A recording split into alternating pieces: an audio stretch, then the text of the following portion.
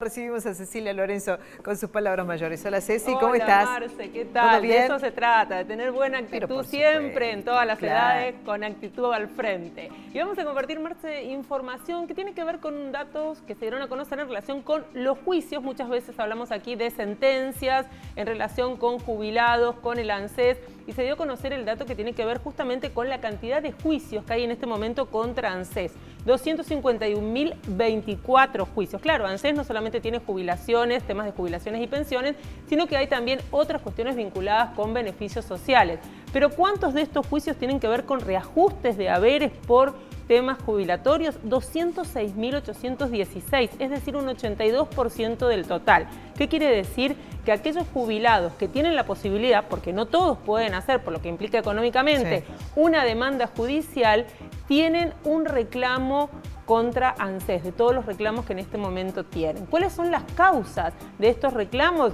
Los efectos de la inflación, por supuesto, el reajuste de haberes, la suspensión de la fórmula de movilidad en el 2020, eso dio lugar a muchos reclamos, como fue también el efecto retroactivo por aquella ley del 2017, lo que implicó esa ley luego fue suspendida, pero generó también mucha demanda. Y el último, el último es el caso Badaro, el último referente, pero es un caso de hace varios años que ordenó el reajuste de ingresos de 2002 a 2006, tomando la evolución de índice de salarios que hasta el día de hoy sigue siendo un caso que se toma como referencia para el reajuste de haberes y aparece dentro de los juicios que se vinculan con los jubilados y el ANSES.